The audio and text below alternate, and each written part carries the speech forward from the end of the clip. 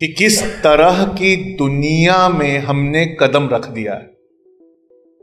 किस तरह की दुनिया की तरफ़ हम बढ़ रहे हैं? और अगर आज मेरी ये बात आपके दिल में उतर जाए, और आज यहाँ से आप कुछ लेकर जाएँ तो अपना करियर, अपनी पढ़ाई, कम से कम कल सुबह के सूरज के साथ कुछ ऐसे चेंज करे कि आने वाली ज़िंदगी में, आने वाली दुनिया में आप उसके लिए तैयार हो सके। जब हम लोग नागपुर से चले यहाँ आने के लिए तो क्योंकि बहुत एक्सपर्ट इंसान हमारी गाड़ी चला रहे थे, इसलिए उन्हें किसी भी तरह के, किसी भी तरह के लोकेशन की ज़रूरत नहीं पड़ी। लेकिन जब ये नागपुर मेरे घर आ रहे थे तो इन्होंने मुझसे पूछा कि क्या एड्रेस पहुँचना है, कहाँ आना है? तो मैंने ना इन्हें पूरा एड्रेस बताया, कहाँ आना है, कहाँ पहुँचना है, ये बताया। बल्कि मैंने वही किया जो आप करते। मैंने व्हाट्सएप पे इन्हें एक लोकेशन भेज दिया। उस लोकेशन ने उन्हें गाइड किया और गाइड करके मेरे घर तक पहुँचा दिया। आप सब इस बात से बखूबी वाकिफ होंगे कि गूगल कैलिफ़ोर्निया की एक कंपनी है। वो अमेरिका में। लेकिन नागपुर और आदिलाबाद की हर गली और उस गली में पड़ने वाली हर जगह का एड्रेस उसमें फ़ीड है। क्या यह किसी इंसान के लिए पॉसिबल है कि वो दुनिया के तमाम पते याद कर ले? जवाब है नहीं है। बिल्कुल भी नहीं है। लेकिन क्या यह मशीन के लिए पॉसिबल है? जवाब है, बिल्कुल हाँ है। श्रीलंका हो या ब्राज़ील हो, या ऐसे किसी देश का नाम हो, तस्मानिया, जिसका नाम भी आपने नहीं सुना, उसकी हर गली और उस गली में पड़ने वाले हर पते को ना सिर्फ़ वो याद रखता है, बल्कि सिंगल क्लिक करने से मुसाफिरों को उस डेस्टिनेशन तक पहुँचा देता है। अगर मैं एक सवाल पूछूँ आपसे कि आपको घर में सबसे अच्छा कौन समझता है? तो लड़कियों की तरफ़ से अमूमन ये जवाब आता है कि हमें घर में सबसे अच्छा हमारे वालिद समझते देखिए, बहुत सारी बच्चियों के चेहरे पे मुस्कुराहट आ गई और मैंने अक्सर और बेशतर देखा है, जो बच्ची पढ़ी लिखी कामयाब, प्रोफेसर डॉक्टर या कलेक्टर बनती है, उस बच्ची के पीछे उसके वालिद का हाथ ज़्यादा होता। वरना जो हमारी फुफ्फुएँ होती हैं, खालाएँ होती हैं, नानियाँ होती हैं, दादियाँ होती हैं, वो चाहती नहीं है कि हम ज़्यादा पढ़ाई करें। उनका ये कहना होता है, जल्दी शादी करो। और वो इस बात को बड़ी मोहब्बत से कहती हैं, ये कहते हुए कि इस दुनिया से जाने से पहले मैं इसकी शादी देखना चाहती हूँ। तो वो हमारा करियर वहाँ पे सेट कर देती हैं। लेकिन उस करियर में उनकी इस राय से लड़कर अगर कोई पढ़ लेता है तो उसकी पढ़ाई के पीछे उसके वालिद का बहुत बड़ा हाथ होता है। और उस वालिद को अपने बच्चे पे बहुत भरोसा होता है। तो अक्सर लड़कियाँ ये कहती हैं कि घर में सबसे अच्छा मुझे मेरे वालिद हुजूर समझते हैं। और हम लड़कों का एक ही जवाब होता पैदा होने के दिन से हमें सबसे बड़ा वकील मिला हुआ है हमारी माँ। जिस दिन से हम पैदा हुए हैं, हर कोर्ट, हर कचहरी में वो हमारा केस लड़ रही है। और बड़ा मज़ेदार वकील है वो। सारे सबूत, सारे गवाह हमारे खिलाफ होते हैं। उसके बावजूद वो हमारे सामने खड़ी होती है और कहती है, मेरे बच्चे ने कुछ नहीं किया। दुनिया कहती है, नहीं, इसी ने किया है। वो कहता ना किसी ने भी किया हो, लेकिन मेरे बेटे ने नहीं किया। हमें हमारी माँ घर में सबसे ज़्यादा अच्छे तरीके से समझते लेकिन जिन बच्चों के भाई बहन हैं, उन्हें यह बात पता होगी जो मैं अगली बता रहा हूँ। अगर हमारा मूड खराब हो, या हम खुशी में हो, या कहीं दिल टूटा हो, या गुस्से में हो तो घर में ना वालिद ना वालदा सबसे पहले हमारे भाई बहन पकड़ते हैं। वो कहते हैं, आज क्या हुआ? तू मुझे पहले बता दे। कहा, क्यों? पहले क्यों बता दू? कहा, अब्बू के सामने गवाही होगी तो मुझे क्या बोलना है? जब तुम्हारी फ़ाइल खुलेगी और जब पूछताछ शुरू होगी तो मेरा तो बयान भी लिखवा दे। मैं क्या बोलूँगा? क्या हुआ? पर बच्चों, ये बात पिछले सदी की थी।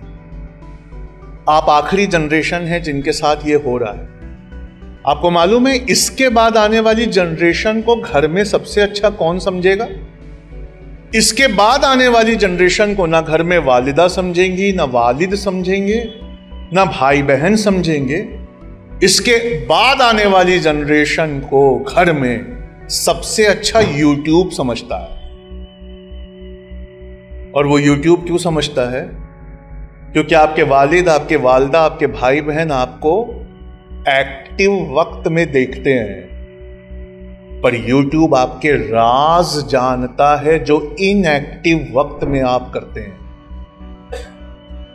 सवेरे उठकर पहला वीडियो देखना कौन सा पसंद करते हैं? स्कूल से आने के बाद लगातार साठ, सत्तर, कौन से वीडियो, शॉर्ट्स आप देखना पसंद करते हैं? नींद ना आए तो किसकी तकरीर सुनना पसंद करते हैं? और YouTube ने भी किसी चरस बेचने वाले की तरह चरस को ऑर्गेनाइज करके रखा है।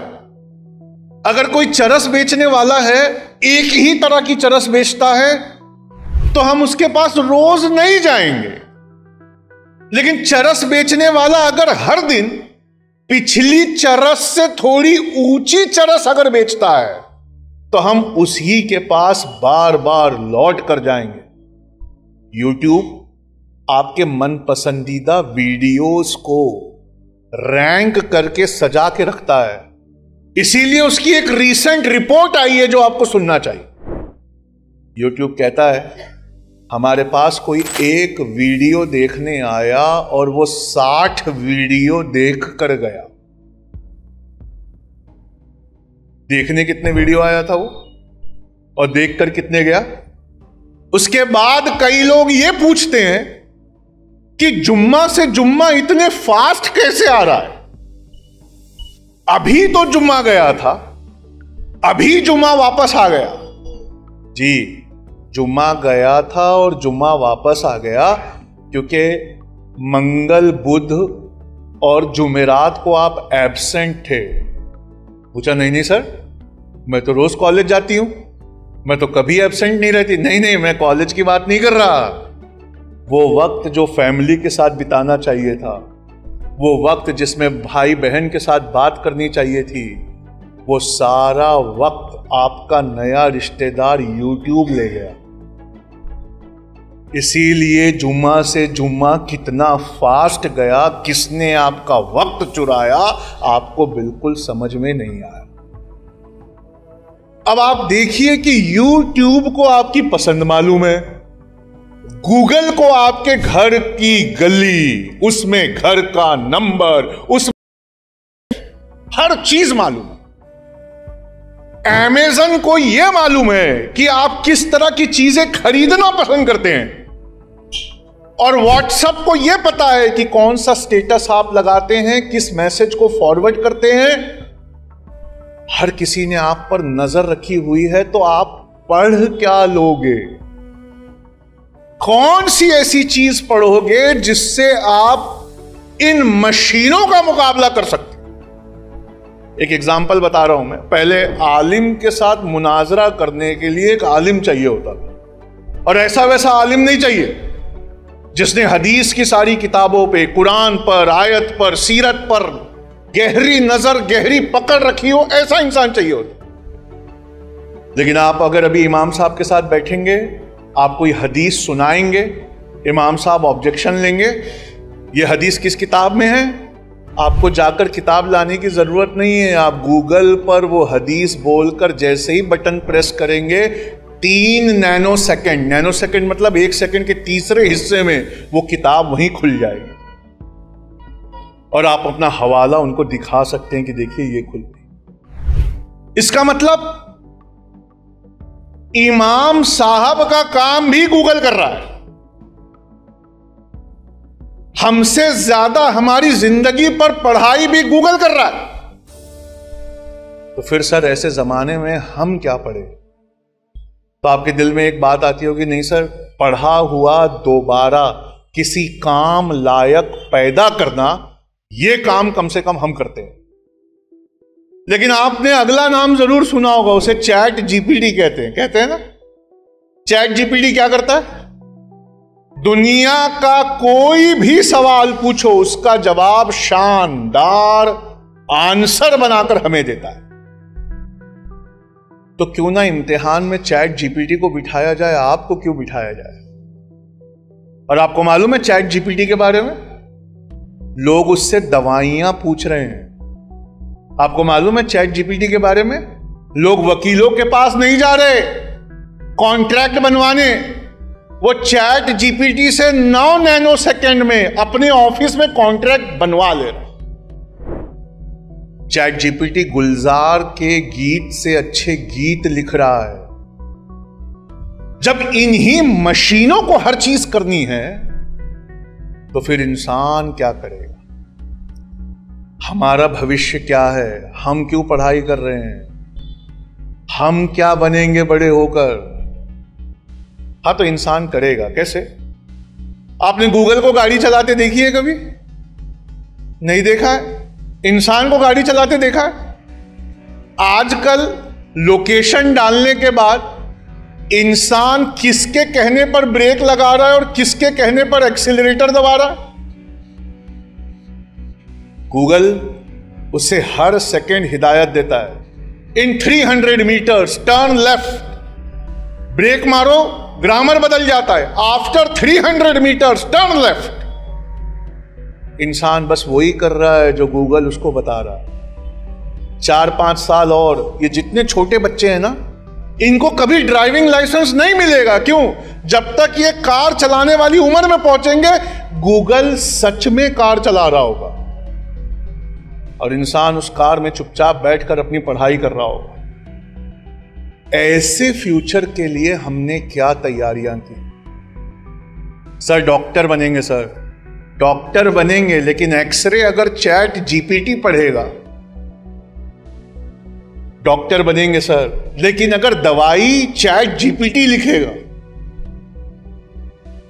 नहीं, सर। वकील बनेंगे, सर। अगर कॉन्ट्रैक्ट जो है वो चैट जीपीटी लिखेगा। नहीं सर एमबीए करेंगे सर। अगर अमेजन का सॉफ्टवेयर हर किसी के मिजाज के हिसाब से उसे बेचेगा तो फिर इंसान की बेचने में भी ज़रूरत क्या पड़ेगी? और हमें इस बात का बहुत डर है कि बहुत जल्दी एक वक्त आने वाला है जिसमें कान में इंसान एक डिवाइस पहन कर जाएगा। और एग्ज़ाम देने का नाटक करेगा। मतलब वो कोई पढ़ाई नहीं करेगा। क्या करेगा? कान में एक छोटा सा डिवाइस पहनेगा, जिसमें चैट जीपीटी कनेक्टेड होगा। लेकिन आप जानते हैं, ऐसे ज़माने से बचने के लिए एग्ज़ाम का फॉर्मेट ही चेंज हो जाए। पर वो गहरी सोच और वो चीज़ों को करीब से पकड़ना सिर्फ़ उस इंसान के बस की बात है, जो अपने पढ़े हुए पर बैठ कर सोचता है।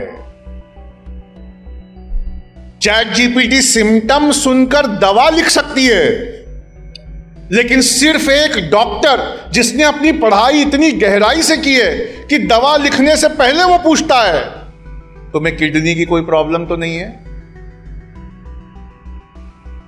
तुम्हें हार्ट हार्ट बीट बढ़ने की कोई प्रॉब्लम तो नहीं है? नहीं नहीं डॉक्टर साहब। हाँ क्योंकि मैं दवा ऐसी दे रहा हूँ। वो कॉन्ट्रैक्ट लिख सकता है लेकिन वो वकील ही है जो सामने वाली पार्टी की नीयत देखकर ऐसा कॉन्ट्रैक्ट लिख सकता है कि 10 साल बाद अगर एग्रीमेंट टूटने वाला हो तो वो पार्टी इसको महसूस करे कि जिस वकील ने ये बात बनाई थी इस, इस दिन को देखते हुए बनाई थी। इसका मतलब है बच्चों, डेटा जमा नहीं करना है, चीज़ों को नहीं रटना है। क्या करना है बताओ? चीज़ों की गहराई में जाना है। बहुत सारे लोग ये सोचकर डर जाते हैं कि अमेजन से हम कोई भी चीज़ आदिलाबाद में तीन से चार डिलीवरी डे में मंगा सकते हैं। अगर मेरी दुकान होती एसी बेचने की, मोबाइल बेचने की। तो हम एसी और मोबाइल की दुकानों में जाकर क्या करते हैं? हम मोबाइल वाले से उसका दाम पूछते हैं, भैया, ये वाला मोबाइल कितने का है? वो जितना दाम बताता है, हम उसे अमेजन और फ्लिपकार्ट पे चेक करते हैं। अगर यहाँ सस्ता मिल रहा है तो हम उससे नहीं लेते। हम बिना लिए बाहर आ जाते हैं और अमेजन अमेजन से ऑर्डर करते हैं। मेरा एक सवाल है आपसे। क्या उस अमेजन के ऐप आने से उस मोबाइल बेचने वाले की आमदनी कम हुई कि नहीं हुई? हुई ना? अंदर गए, दाम पूछा कंपेयर किया अमेजन पे दिवाली का महासेल है, चुपचाप बाहर आ गए ऑर्डर कर दिया। दुकान वाले से हमने कितना इस्तेमाल किया? उससे सिर्फ़ दाम पूछा। ऐसे ही है ना? उससे क्या पूछा? सिर्फ़ दाम पूछा। सर अमेजन तो सबकी नौकरियाँ खा जाएगा, सबके व्यवसाय खा जाएगा। अगर आप न्यूयॉर्क लंदन और न्यू दिल्ली की चीज़ आदिलाबाद में उस ऐप से ऑर्डर कर सकते हैं तो इसका एक मतलब है। पूछिए क्या? अगर आपके पास कोई बहुत अच्छी चीज़ है तो वही ऐप आदिलाबाद से उठाकर उसे न्यू दिल्ली लंदन और मुंबई में बेच सकता है। अगर आपके पास सच में एक बहुत अच्छा प्रोडक्ट है तो आपको यह हिजाब छोड़ने की भी ज़रूरत नहीं है। उस प्रोडक्ट की ब्रांडिंग चैट जीपीटी से करके एमेजन पे उस प्रोडक्ट को लिस्ट करवा के, अगर दस बिक गए और दस के दस लोगों को पसंद आ गया तो एक नए जमाने में हम आ गए हैं। वो वहाँ जाकर रेटिंग लिख देते हैं। वो पाँच में से साढ़े चार स्टार देके लिखते हैं, ये प्रोडक्ट बहुत अच्छा है, सब लोग खरीदो। एडवर्टाइजमेंट देखकर आपने आखिरी बार कौन सी चीज़ खरीदी थी? बहुत पहले सर कुछ लिया होगा। पिछले कई सालों से आप रेटिंग और रिव्यू पढ़कर चीज़ें खरीद रहे हैं। क्या मैं गलत कह रहा हूँ? क्या मैं गलत कह रहा हूँ?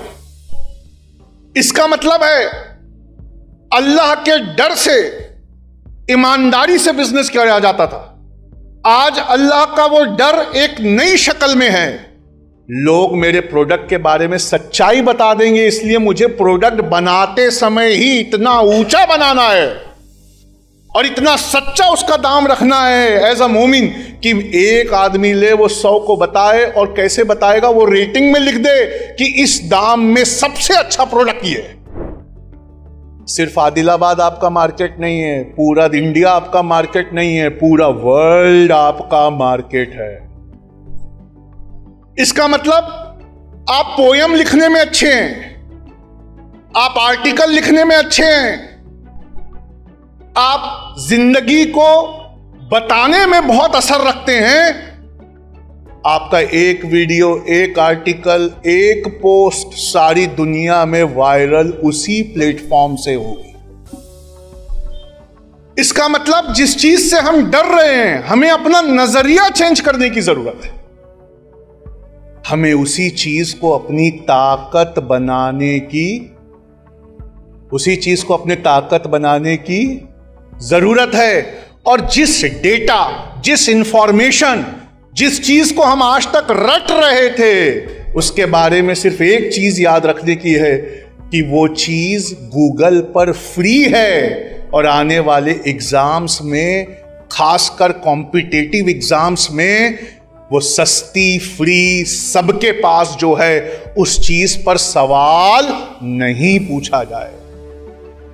इसका मतलब आज का सबक नंबर एक जो चीज़ें आपकी रोज़ी रोटी छीनने वाली हैं, अगर आपके पास कोई एक टैलेंट है, जिसे दुनिया ने देखना चाहिए, दुनिया ने खरीदना चाहिए, दुनिया ने समझना चाहिए, उसे आपसे मांगना चाहिए तो जिन चीज़ों से आपकी रोज़ी रोटी जाने वाली है, वही चीज़ें ना सिर्फ़ आपको रोज़ी रोटी देंगी, बल्कि लाखों और करोड़ों का इंसान बना देंगी। आज का दूसरा सबक इंफॉर्मेशन डंप करना। बहुत सारा खाकर, जैसे हमने दावतों में करते हैं मुसलमान, दावतों में ज़रूरत से ज़्यादा खा लिया, उठे और कहा, अरे भाई, बहुत हो गया आज। देखा यार, वहाँ तो मिठाई का काउंटर छूट गया था। का चलो, एक मिठाई की जगह बना देते जैसी मिठाई खाई, देखा, वहाँ कॉफ़ी का स्टॉल लगा था। कहा, यार, एक कॉफ़ी भी पी लेते हैं, कल दौड़ लूँगा। उसके बाद क्या करते हैं? कॉफ़ी के स्टॉल से निकलकर 10-15 सेल्फी खींची। जाने का नाम कोई आजकल दावतों में से नहीं लेता। ऐसी है ना? और उसके बाद घर आके ज़ोर से उल्टी होती है। इसी तरह हमने आज तक एग्ज़ाम पास किया। एग्ज़ाम से 20 दिन पहले खूब ठूस ठूस के याद किया। एग्ज़ाम को जब दो दिन बचे तो हम सोना भी भूल गए। जिस रिक्शे में बैठकर एग्ज़ाम देने गए, उसमें भी पढ़ते हुए गए। जब तक बेल नहीं बजी, बाहर कॉफ़ी पीने की तरह हम पढ़ते रहे और जैसे ही पेपर सामने आया, हमने ज़ोर से हाथ डालकर उल्टी कर दी। जितने आंसर आते थे, खूब लिखा खूब लिखा, उसके नंबर अच्छे आ गए। घर वालों ने कहा, आपको पता है हमारी बेटी, सत्तर परसेंट लाई है। पचासी परसेंट लाई है, नब्बे परसेंट लाई है। मतलब कहना क्या चाहते हैं? वो अपने रिश्तेदारों को बता रहे हमारी बेटी उल्टी करने में पचासी परसेंट है। हमारी बच्ची, हमारा बच्चा हमारा बच्चा, हमारी बच्ची उल्टी करने में पचासी परसेंट है, हमारी बच्ची उल्टी करने में अंठानवे परसेंट है। जितना खाती है, उतना निकाल देती और लड़कों के 60 परसेंट आते 60 से 50 परसेंट। उनसे पूछो, क्यों इतने कम? क्या मैं उतना ही खाता हूँ जितना चाहिए। ऐसे एग्ज़ाम बंद होने वाले हैं। तुम्हारे मुँह पर बता के जा रहा अब एग्ज़ाम वो आने वाले हैं कि सारी किताबें खोल दो, सारे लैपटॉप ऑन कर दो। कान के अंदर एक चैट जीपीटी पहन कर बैठोगे, सवाल देखकर हमारे बच्चे जो आईएएस की तैयारी करते हैं, उन्होंने लिखा है सवाल देखकर भरी ठंडी में पसीना आता है। इसका मतलब कल से पढ़ाई कैसी करनी है? आज का दूसरा सबक। पढ़ते हुए पढ़ो, पढ़ने के बाद उसे नए नज़रिए से देखो।